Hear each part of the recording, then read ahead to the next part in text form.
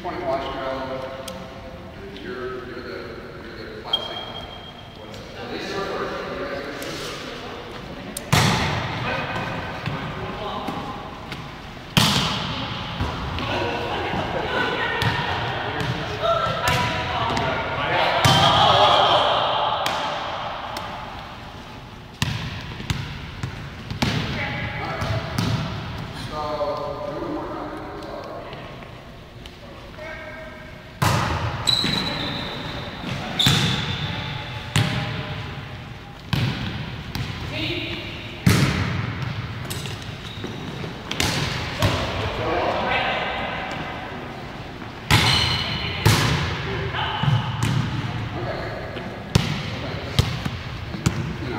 We go way back in beach volleyball, all our places, but at some level, I hope you never do what she just showed you again.